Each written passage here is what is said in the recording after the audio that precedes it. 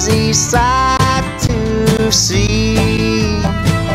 And as the leaves have changed, it helps ease the pain and suffering